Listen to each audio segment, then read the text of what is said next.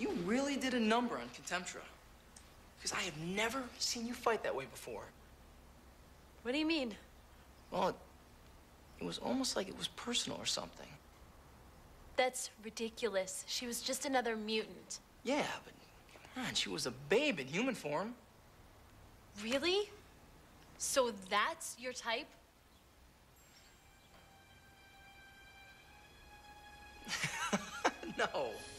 I was just kidding.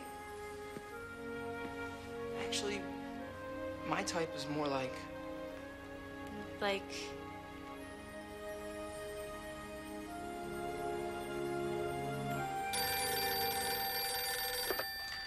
Nick of time, odd jobs. Of course. We can be there right away.